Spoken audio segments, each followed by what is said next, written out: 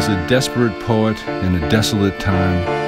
I can only express my love for you in simple declarative sentences and the metaphors will have to take care of themselves. I see you skating down the strand in Hermosa Beach with polyurethane sparks flying off of your heels, and know that as long as there are strawberry blondes and poets to praise them, this world will be worth saving.